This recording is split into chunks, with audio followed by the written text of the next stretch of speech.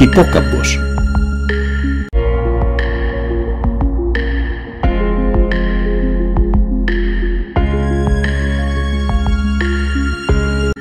Ο υπόκαμπος είναι μικρό θαλασσινό ζώο, πολύ παράξενο. Το μήκος του φτάνει τους 15 πόντους. Το σχήμα του σώματός του μοιάζει με του αλόγου, γι' αυτό και ονομάστηκε θαλασσινός σύπος ή αλογάκι της θάλασσας. Το χρώμα του δεν είναι ορισμένο. Παίρνει συνθέστερα τις αποχρώσεις του βυθού.